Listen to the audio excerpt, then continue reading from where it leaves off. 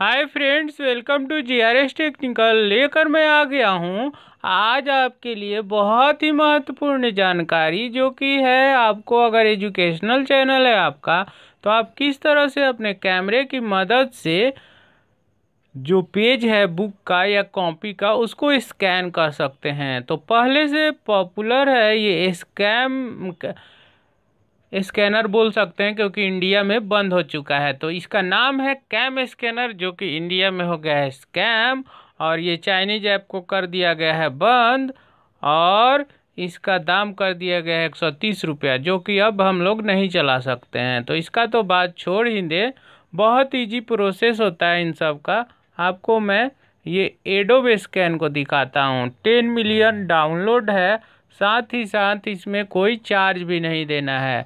सत्ताईस एम इसका जो डाउनलोड कैपेसिटी एमबी है वो है और सात हज़ार बत्तीस के रिव्यू भी है। दोनों में कंपैरिजन किया जाए तो इसका थर्टी सेवन के ही है जबकि इसका है आ, देख सकते सात हज़ार बत्तीस के। काफ़ी पॉपुलर है एडोब स्कैन इसके थ्रू आप ये देख रहे हैं आपको मैं ये देखिए आप अपना मोबाइल का कैमरा को ऑन करना होता है, उसके बाद आपको इस तरह से पेज दिखाई देने लगेगा, बुक का।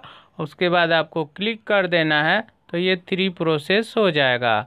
आगे बढ़ते हैं।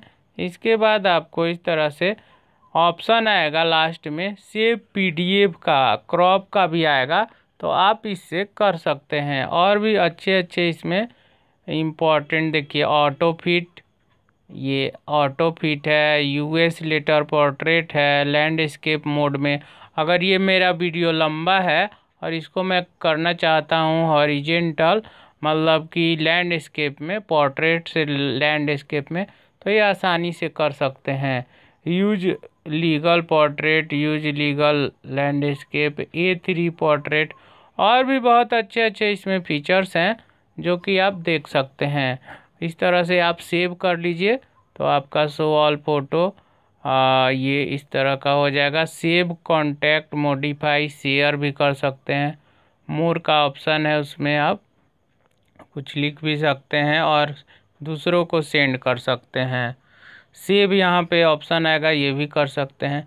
तो ले देकर जो कैम स्कैनर इंडिया में बंद हुआ है चाइनीज़ ऐप उसका बेजोड़ तोड़ है और इस का जोड़ लगा के आप अपने चैनल का ग्रोथ कर सकते हैं। तो सब्सक्राइब करना ना भूलिएगा और भी अच्छे अच्छे ऐप्स का रिव्यू मैं देता रहूँगा। कोई भी चाइनीज़ ऐप कृपया यूज़ ना करें और उसको अनइंस्टॉल करें।